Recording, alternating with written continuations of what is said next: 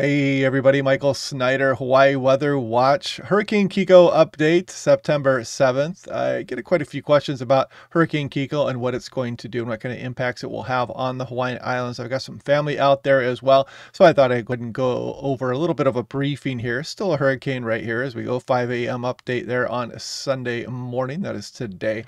And if we take a look at the cone, you can see generally uh, what the models say is that it's going to remain a hurricane as we go through Tuesday. I don't know if that's going to be the case. I think the shear and the dry air that it's dealing with here across some of the Pacific is probably going to weaken the system a little bit quicker than that. I might be wrong, but the Hurricane Center thinks it will remain a hurricane on into Tuesday morning. But the most important part is that this is supposed to stay north of the Hawaiian Islands, and the strongest portion of the storm is on the north side of that island of that hurricane as well as it approaches the island. So Uh, that we have that going for us here. Now, taking a look at the tracks, this is the European and all of its ensembles. You can clearly see that none of them, uh, maybe one of them clipping Kauai there, but that would be a very degraded system by that point. And generally keeping it north again of the Hawaiian Islands. And again, the biggest impacts on the north side of the storm as it approaches. Could bring some wind and some waves here, a little bit of an increase here, but it's not going to be much. The waves probably a little bit of a bigger deal than anything uh, to do with the winds. And you can see the Central Pacific Hurricane Center does a good job here. They put out these uh, forecast discussions every six hours here as well. And they do also mention some of that dry air. It is now also moving over a little bit cooler water, about 25 degrees Celsius. So it's probably helping to weaken the storm and then the vertical shear. I think that's going to start working on the storm. It is a relatively small hurricane here also. So if we take a look, they got hurricane warnings just kind of broad brush out over the ocean waters. Don't let that scare you or anything. You know, this these winds are not going to be a big impact for the islands, and this coastal flood statement is unrelated to the hurricane, just tidal stuff.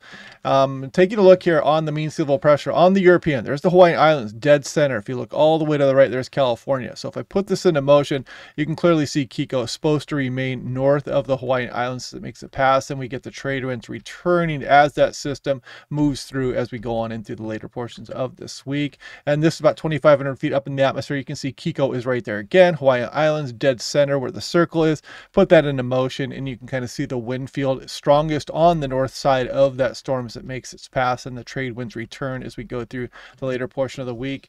A little bit closer look here at surface winds. So you can see those uh, strongest winds are supposed to not get anywhere near the Hawaiian Islands unless there's some kind of huge change in track of this storm that we do not foresee. But it, it does remain a, a, bit of a potent storm as it passes, but again, the wind's too far away. The, the, most of this will probably affect some flights coming to and from the Hawaiian Islands as they're going through some of this turbulence here and some of the stronger winds on the north side of that storm. So, yeah, as far as impacts of wind on the state, not much to speak of.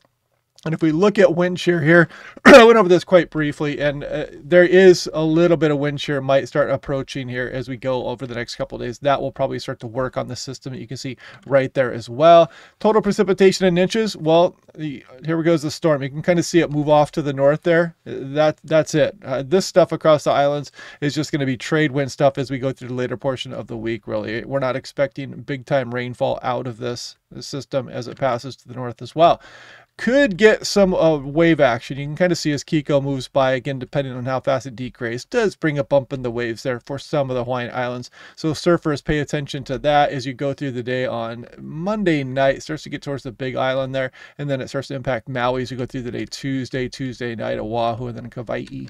Now, looking at the ocean temperatures also, you can kind of see the water that it's kind of moving through right now. This is a bit cooler out here. It's not really that conducive to, you know, sustaining strong hurricanes kind of a, a, an unusual setup here where we've gotten cooler than normal waters here south of the Hawaiian Islands and warmer than normal north.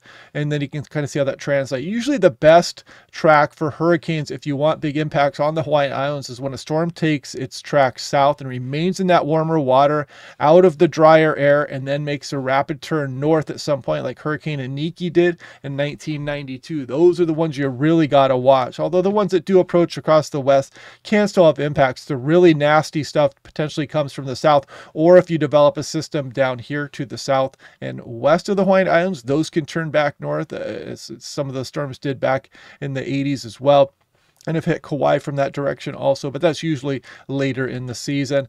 Uh, and yeah, again, wrapping things up, there's Hurricane Kiko. Again, should not have big impacts on the Hawaiian Islands here with either rain or wind, maybe some bump in waves as it passes by. But uh, again, I kind of think that this is probably going to be getting weakened here pretty quickly, maybe a little bit quicker than what the National Hurricane Center, the Central Pacific Hurricane Center is saying. But anyway, just kind of keep that in your mind if you're a mariner out and about. I don't know and watching those waves, or of course, you know, the flights back and forth from the mainland and from Alaska will be dealing with the storm as it passes by to the north, but you know, they can just fly around it. So, anyway, hope you guys like the update. Let me know what you guys think. Click like and subscribe. We'll do this all again tomorrow, and I will talk to you guys then.